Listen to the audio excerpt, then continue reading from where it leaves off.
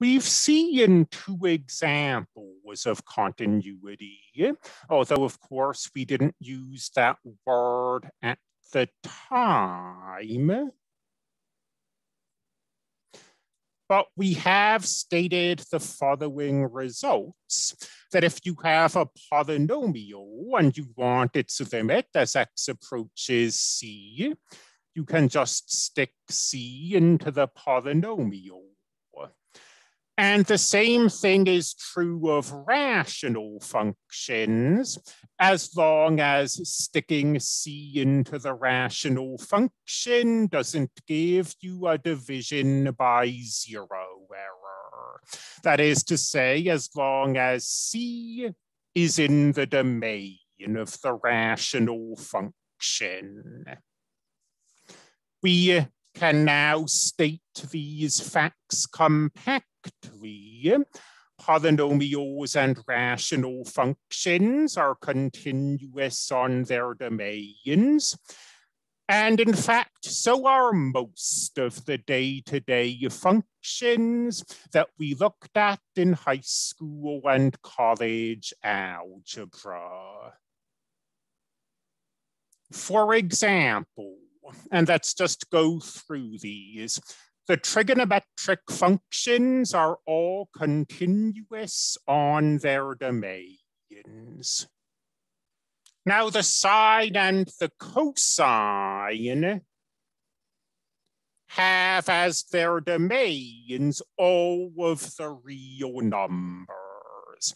So these are continuous at every real number.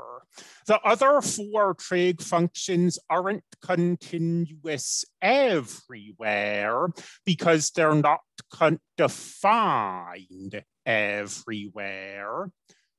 But where they're defined, they're continuous. We are not going to discuss these until calculus 2, but the inverse trig functions are defined on their domains.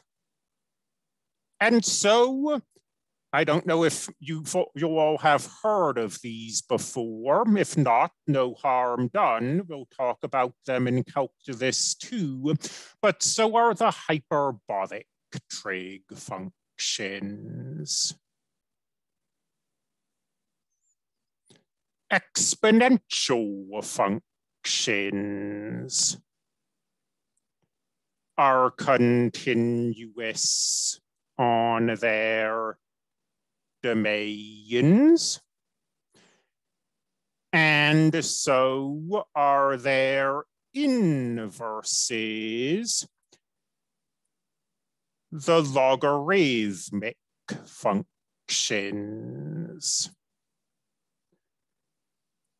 Power functions are continuous on their domains. And let me see, what else is there? Um, the absolute value function is continuous on its domain.